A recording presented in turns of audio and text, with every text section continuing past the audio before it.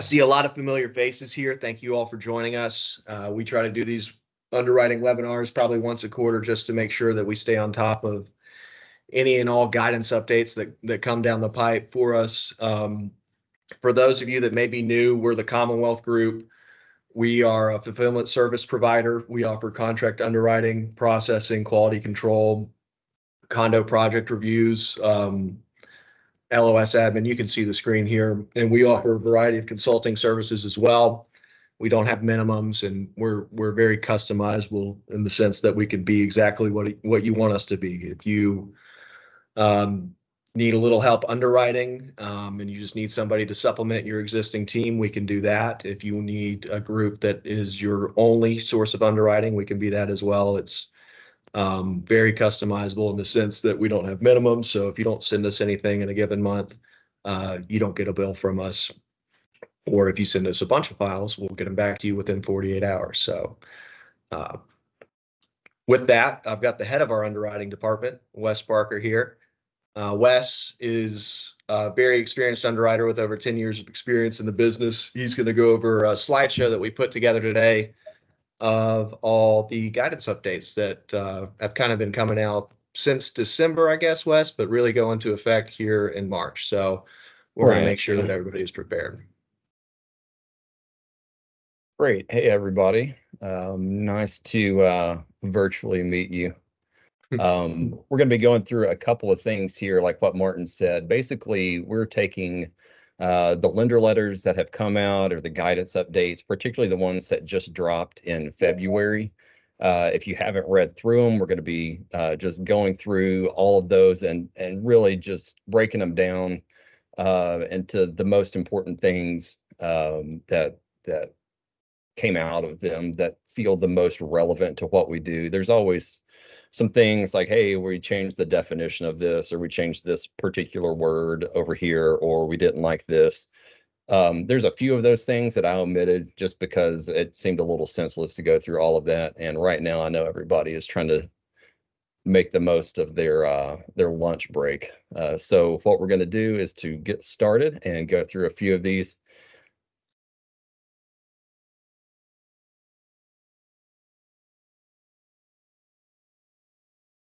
So we're going to start with updates from Fannie Mae. Uh, this uh, this very first one is basically talking about how uh, they're going to begin offering value acceptance plus plus property data on condo case files effective immediately.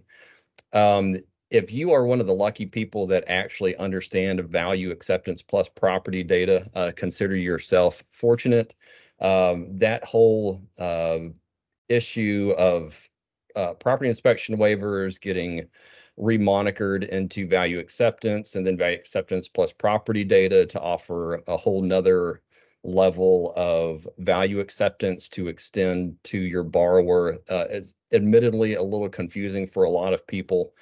Uh, in the Commonwealth Group within our underwriting, we get a lot of lenders that will run across value acceptance plus property data and assume that it's just your traditional old property inspection waiver. Uh, and please be careful and know that it is not.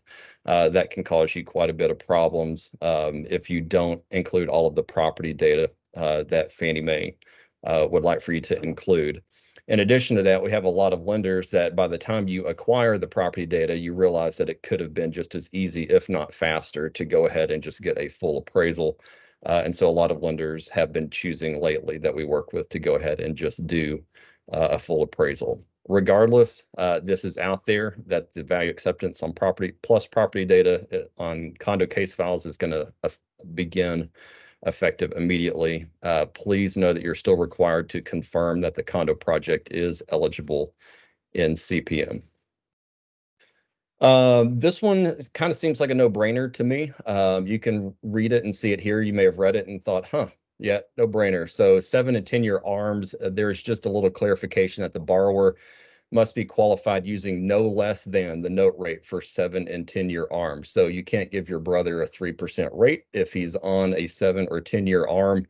Um, you have to do no less than the note rate. So uh, this is going back to the initial ability to use the note rate versus the fully indexed rate, uh, that was all updated in June of last year. Uh, everybody used to have to use the fully indexed rate and calculate the fully indexed rate, which was uh, a process in and of itself. And then Fannie Mae came out and said, hey, you can use the initial note rate instead of having to do the fully indexed rate uh, because we are stuck in this affordability vortex that we can't seem to get out of. Um, so this is just a little clarification. If you're using one of these seven or 10 year ARM products, uh, that you can't use less than the note rate uh, whenever you're doing the qualification for those borrowers.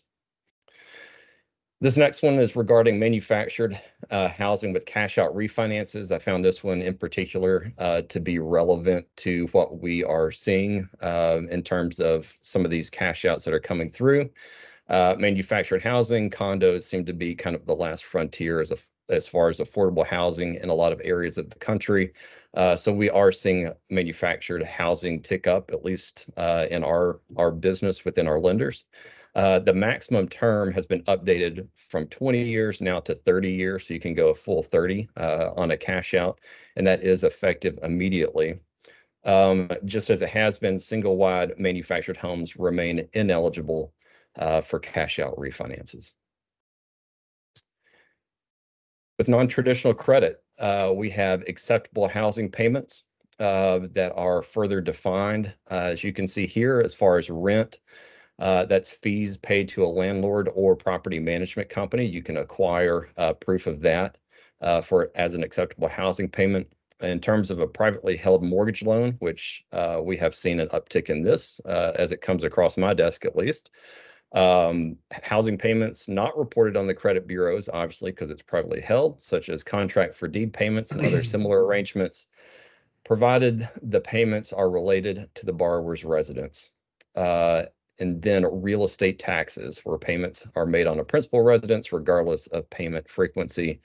Uh, and that's for homes owned free and clear. And we've all heard and read the stories about how many homes nowadays are owned free and clear. Uh, all of these things with non-traditional credit are effective immediately. For use of business income, less than 25% ownership. Uh, we don't see this a lot, but we do see this. Um, there are a few things here regarding liquidity that I found to be uh, helpful.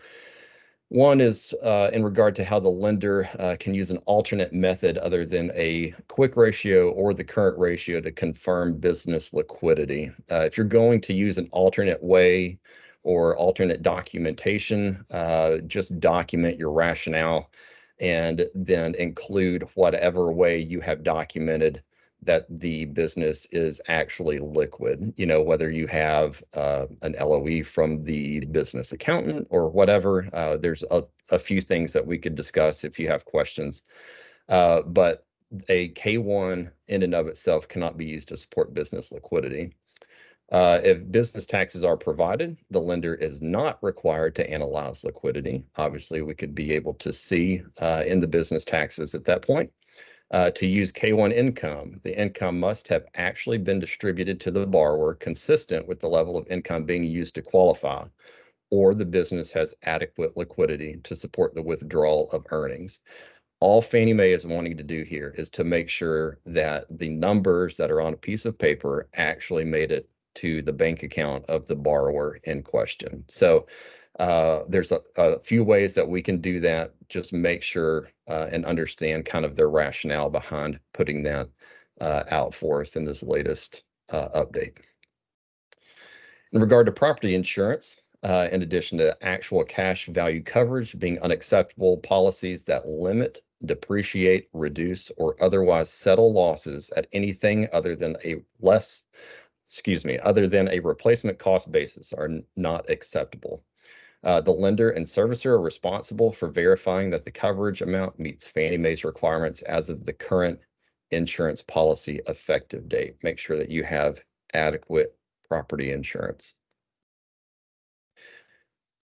All right, we are switching over to the latest Freddie Mac bulletin, um, trust income. Uh, we will run into uh, uh, every now and then. We don't see it a whole lot, but we have seen it uh, in 2024 come through. Uh, there are different types of of ways that you can get trust income taken care of. Um, and, and this is highlighted in the guide for those of you that need a, a little bit of a refresher or haven't seen it come through. Uh, however, in, in terms of what they've updated here, when there is a predetermined fixed payment, let's say somebody gets X amount of dollars per month, uh, you must document receipt of the income for the most recent one-year period. Uh, this is in uh, an update to not needing to see uh, receipt of the income.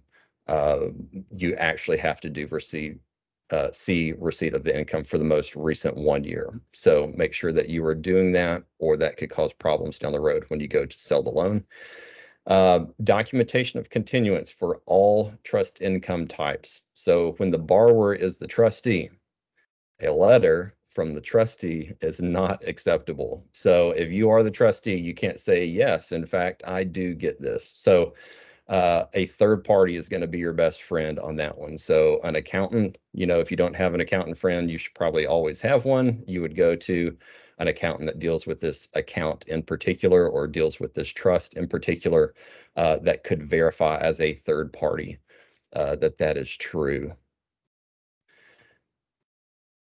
With asset documentation, uh, verifications that are generated electronically by a financial institution are not required to contain the title, signature, and phone number of a representative of the financial institution. That is a new update.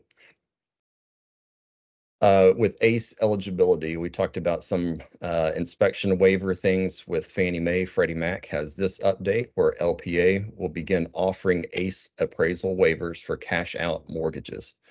There are two limits to this. The max LTV will be 70% for primary residences and the max LTV will be 60% for secondary residences. If you happen to go over that or your LTV were to change, you may lose that appraisal waiver if it exceeds 70 for primary and 60 for secondary. So as you set up these loans and it's a cash out, you have an appraisal waiver, just a heads up that to go back and check your findings. Always check your findings uh, because it is a possibility that you cross that LTV threshold and end up losing that appraisal waiver. For appraisal photos, they have updated this to add interior photos in addition to the ones that have already been outlined in the guide. Uh, all living areas, including all gathering rooms and finished and unfinished basement areas are now required. Okay, so be very careful, particularly with the last part there, finished and unfinished basement areas. Uh, a lot of appraisers will, excuse me, need to be uh, reminded that that they have to take pictures of the unfinished areas. Um, we often get pictures of the finished uh, or we get pictures of one living area, but maybe they have a living area, a living room, maybe they have a den, maybe they have a hearth room, uh, all sorts of types of rooms in the house. So all of those are going to have to be documented. All right, and that takes us to the end of that little little uh, piece of information between uh, the February updates with Fannie Mae and Freddie Mac.